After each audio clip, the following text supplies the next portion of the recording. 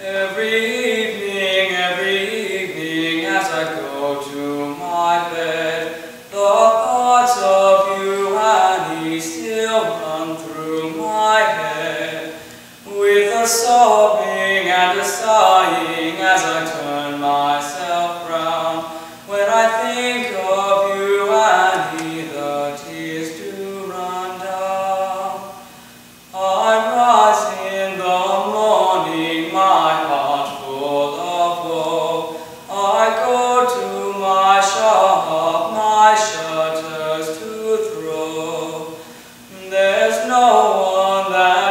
that me but the innocent dove. So I hope to gain pardon to the girl that I love.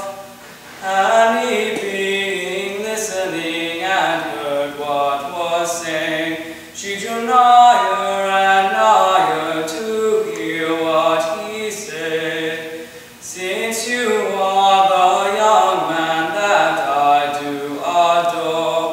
It's a trip I'll make with you to Lincoln Short. My friends and relations, they do all that they can for to part me and Annie. That's more than